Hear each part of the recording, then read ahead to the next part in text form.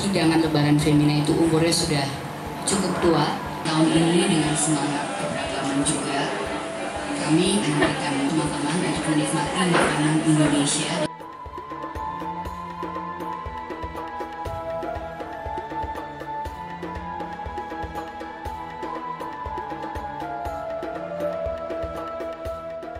Wabubis itu kayak rawonnya orang Gorontalo.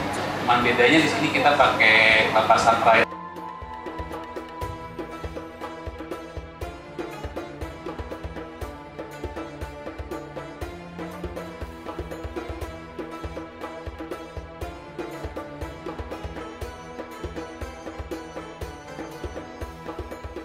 Ikan kuah kuning ini bahan dasar ikannya itu adalah ikan tongkol.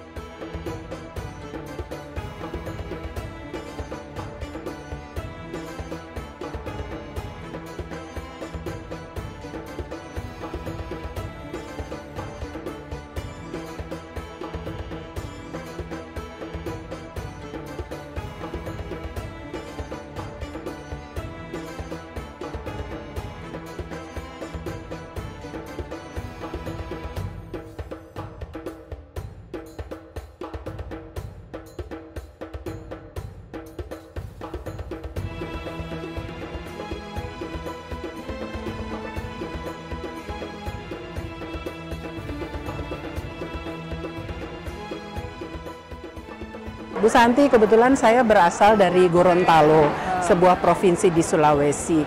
Makanannya memang beragam, tapi ada satu makanan yang hampir selalu ada, namanya kuah bugis, kuah bugis Gorontalo.